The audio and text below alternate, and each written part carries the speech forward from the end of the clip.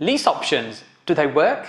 In my previous vlogs, I've not talked about this strategy very much, but in fact, it is one I've used quite a lot.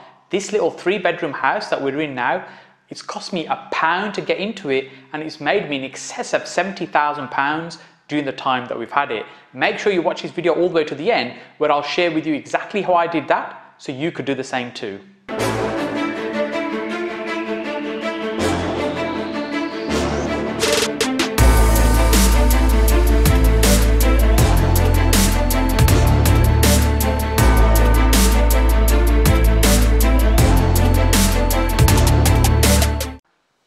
You're here for the first time, welcome. My name is Saj Hussain and I've been investing in property for about 15 years now using various different strategies and on this channel I share my knowledge and experience with you to ultimately help you get further faster in your property investing journey. So if you'd like more videos like this, make sure you hit that like button and there's also the subscribe button so you get regular content just like this.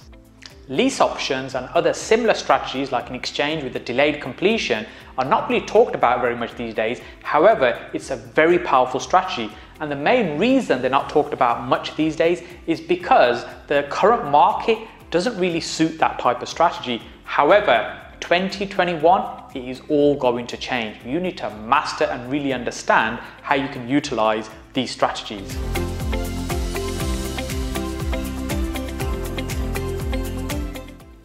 A lease option, or sometimes called a PLO or a purchase lease option, what it allows you to do is take control of a property but not necessarily have the ownership.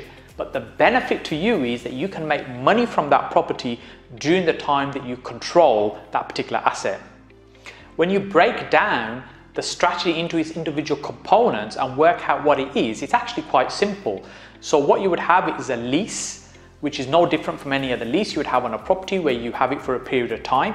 And then you have an option, which is effectively a right to buy, which means you have the right to be able to purchase that particular property. However, you're not obligated and not committed to purchase the property. That's also the key difference between this and exchange with delayed completion, where effectively you are committing to that particular strategy. In this particular video, I'm going to focus on lease options. However, if you're interested in exchange with delayed completion, make sure you put it in the comment section below. And if there's enough interest, I'll do a separate video specifically around exchange with delayed completions.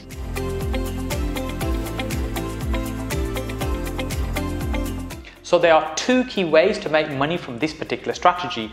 One is during the time that you control that property, i.e. you have the lease on that property. For example, you might let it out to somebody else and you collect a rental income. And the other way is when you exit out of the deal altogether. And when you exit, or you sell the property or you sell the right to be able to acquire that property to somebody else and you take a fee at that point. So they're the two key methods. There is a third one, it's a little secret I'll tell you about towards the end. Let's talk about how I've made this particular house work.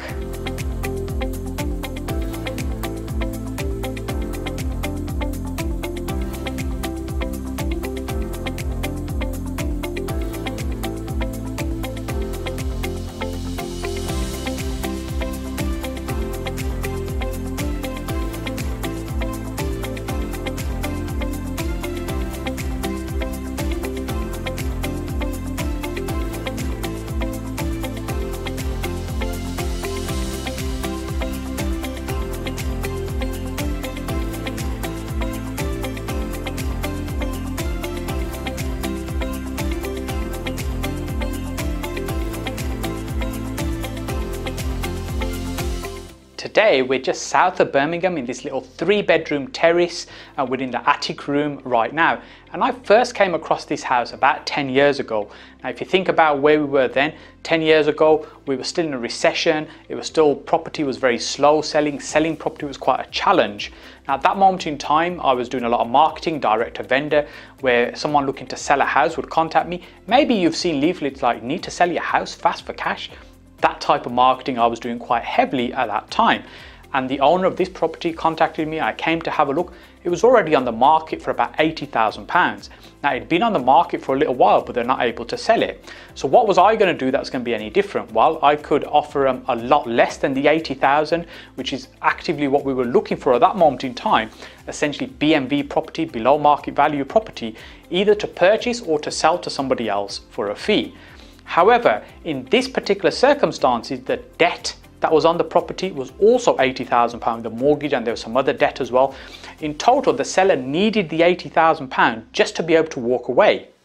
The property was empty, they already moved out, they went through a messy divorce, there was a lot of pain and emotion around this particular property, and she didn't want to be here.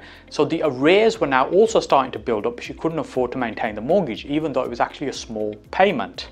During the last recession and when the property market crashed at that time, it was not uncommon to be coming across vendors who were in a similar circumstances whereby selling the property they would either have nothing that they were going to put in their pocket because it would just clear their debts or worse still there might be negative equity which means even after selling the property wouldn't clear all the debts and they would have to put their hand in their pocket to try and pay the balance just to be able to sell the property and walk away from it. And many people were not in the position to do that. So this is what makes lease options work really well in that particular market because the sellers are looking to walk away from the property and the pain of maintaining mortgage payments as opposed to selling a property to put some money in their pocket. Now, when you roll the clock back, say five years, and I see people trying to lease options, they're struggling to make them work. And the reality why they haven't been working more recently is because the market's quite strong, it's buoyant, there's plenty of demand.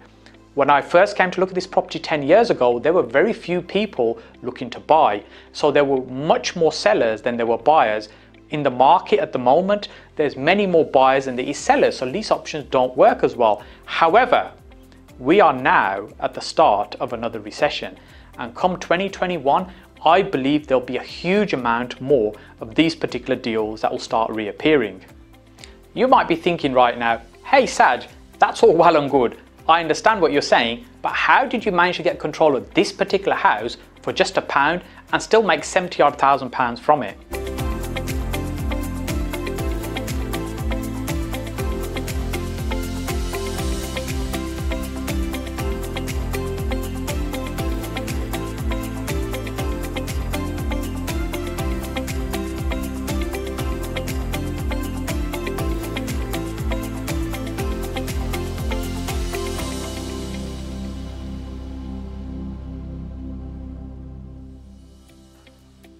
The absolute key in making these type of deals a success is taking the time to understand the seller, their circumstances and also their needs.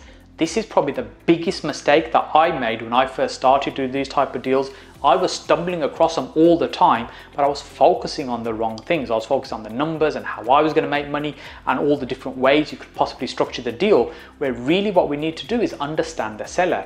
So this particular seller, they purchased the property a few years earlier. So when I first came to see them, at roughly the same price at £80,000. So when I was having a conversation with them 10 years ago and they were trying to sell it at 80,000, remember what they were trying to do is just get away from the, this particular house, get away from the pain, get away from the debt that was starting to build. That was what was really important for them. So it's structuring a deal in a way that's going to be able to give them that and allow them to walk away.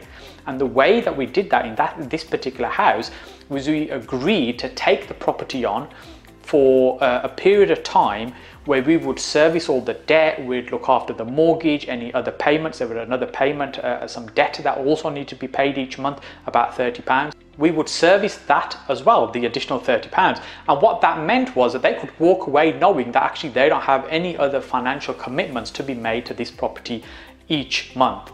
And it also, we agreed that we would purchase the property for the full amount of £80,000 at some point in the future. So when I talk about a period of time, the time frame we agreed is 10 years.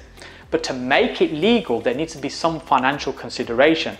And that financial consideration was one pound. That's what it cost to get into the deal just to acquire and control the house. Not acquire really, acquire is probably the wrong word, to control the property for a period of 10 years. Now, there were some arrears that were building up on this property, so we started paying them down. And if you're thinking, so how did I make money from this? Well, our mortgage payment at the time, including the additional 30 pounds we needed to pay, was about 150 pounds a month.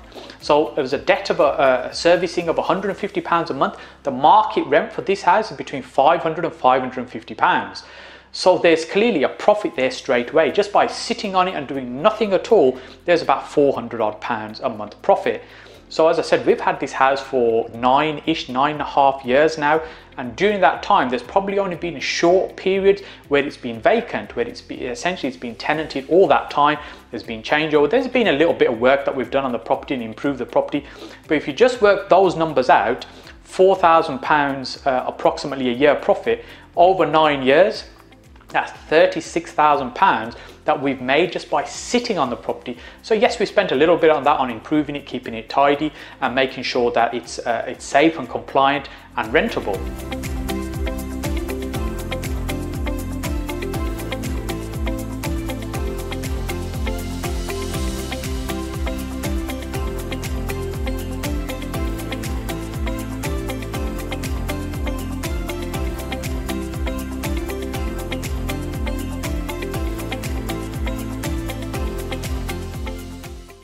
So renting the property out during the time we've had it has been one of the key ways that we've made money from this particular property.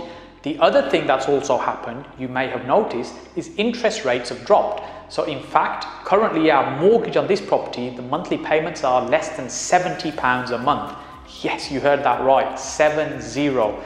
Our payments on this particular property means they're lower, so our profit has been much higher. Now, the second way that we've also made money on these properties, in fact, we've just sold it. We've sold it for 119,000, which means once we've paid off all the debt that's on it, about 80 odd thousand pounds, we've paid the solicitors, the estate agents, we're going to be left with about 37,000 pounds profit. So when you put those two numbers together, this house has weighed us poor part more than 70,000 pounds. And what did I put to get into it? One pound. These deals are going to be everywhere. You just have to understand how to structure them and how to find them. So I've shared with you two ways that I've made significant amount of money from this particular property. However, I mentioned earlier on there were actually three ways that you can make money utilizing these strategies. Let's talk about the third one on the way back to the office.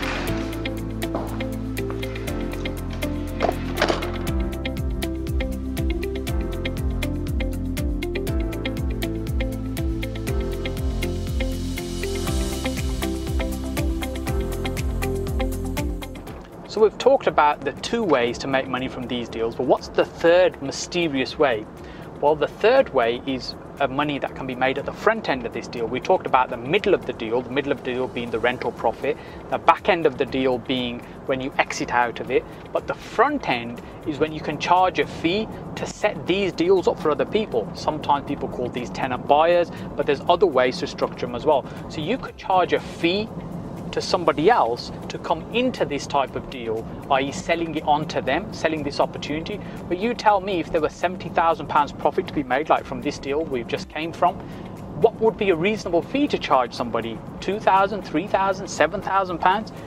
You know, there's different levels of amounts that you can make from just setting up this kind of deal.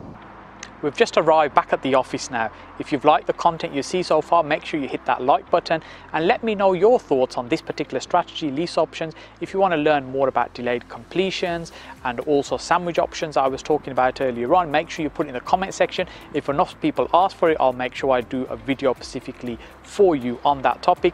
Hit that subscribe button as well and the notification bell so you're notified when I'm releasing these videos and I look forward to seeing you on the next vlog.